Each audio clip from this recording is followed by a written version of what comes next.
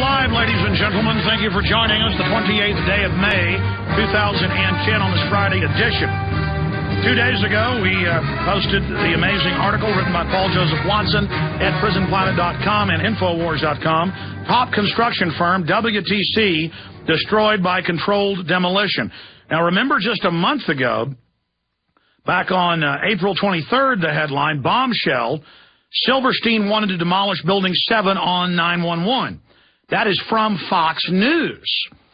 But the Fox News reporter said, I was there that day. I was with Silverstein and the emergency management people. And yes, they did say they were looking at wiring and blowing up 7.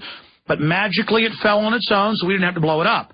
Well, it takes weeks, if not months, to properly demolish a 47-story building.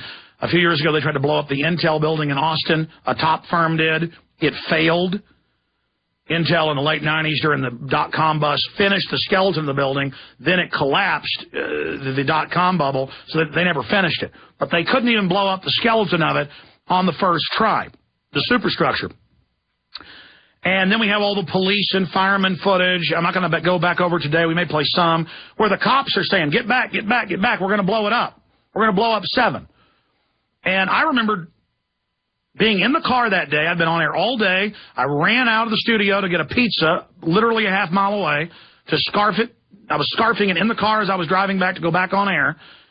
And they were on ABC News saying they, they're, they're going to blow up Building 7.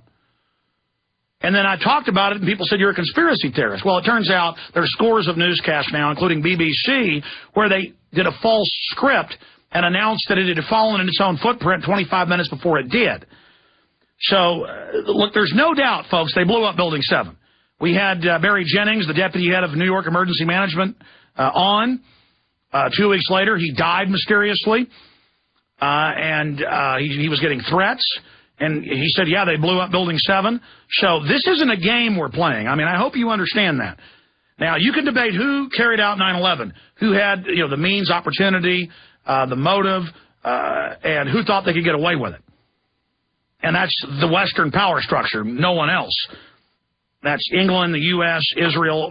They're all joined at the hip. But for the next hour, and then a little bit into the next hour, then Bob Chapman's joining us. Uh, Alan Hart joins us uh, because he's another window into this. You know, you have this Fox News reporter going with the lie, saying, yeah, okay, we were there. They were talking about blowing it up, but we didn't. So you're a conspiracy theorist forever saying we did. And then you've got all the firemen, you know, saying, yeah, they told us they blew it up. And, and then they get fired or threatened. And the cops saying, yeah, they said they blew it up. I've interviewed those cops, Bartmer and others. I've gone and found the cops who were on the CNN video saying, get back, they're bringing it down, folks. We have the live footage. Get back, they're blowing it up. And, and again, the cops weren't involved. They were brought into it. And then once they've accepted it, I, uh, they just engage in crime stop or double think, and then they don't talk about it. But but I'm going to shut up. It's just to, to get into Building 7, to get into 9-11, to get into the NORAD stand down, to, to get into U.S. and British troops massed in and around Afghanistan in the two months before, and uh, Newsweek admitting Bush signed the attack order to go into Afghanistan on September 10th, and Jeb Bush declared martial law two days before in Florida, AP, and hijackers trained at U.S. bases. They thought they were taking part of it uh, in a drill. On and on. It's all confirmed. But to have another eyewitness who's a prestigious pedigree with the BBC, ITN, top correspondent in the Middle East, uh, you, know, inter, you know, interviewing the Shah, Yasser Arafat. I mean, he's at the highest level of journalist, Alan Hart, uh, blowing the whistle that day one he was witnessing the cover-up in in the media, the self censorship that because people are, it's like Albert Speer, the, the German in, in, uh, interior minister, the architect, was asked later, why did you go along with Hitler? Why did you do all this? Because he was known as an intellectual and an aristocrat, and they actually let him off because the British liked him so much at Nuremberg. And he said, well, when the devil's got his arm around you, being nice to you, you don't, you know, recognize it's the devil. And he, he just once you're in it, you're in it. Well, folks, we got to say we're not part of this. The media, everybody.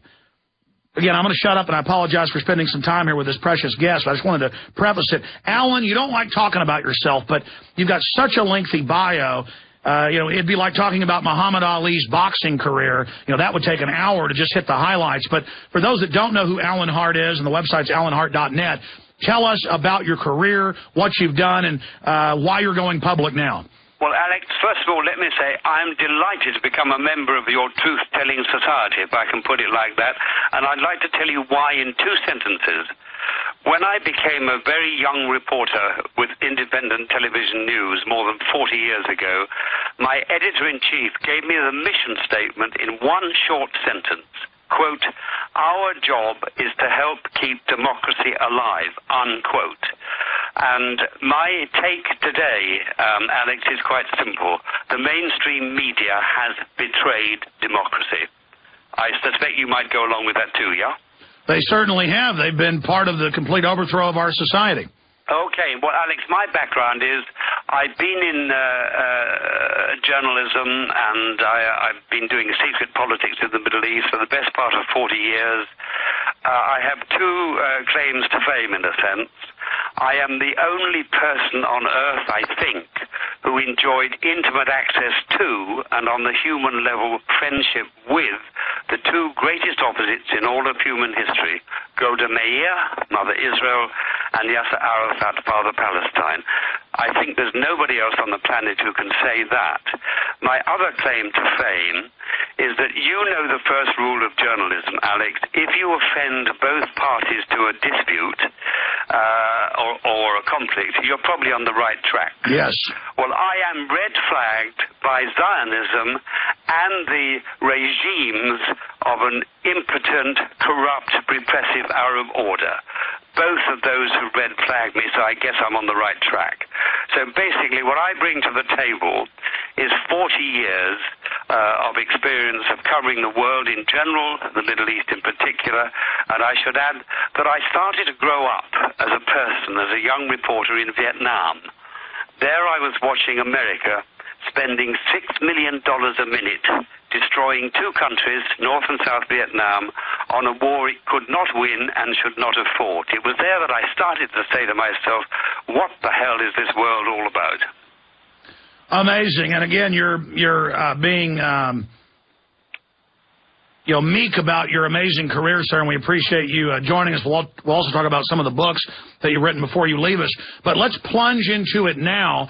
Why have you decided to come out and you know lay out the fact uh, that the media is self-censoring and that you talk to one of the biggest construction firms in the world and that they did their own analysis and concluded it was controlled demolition? Okay, well, let's go head on to that, uh, Alex.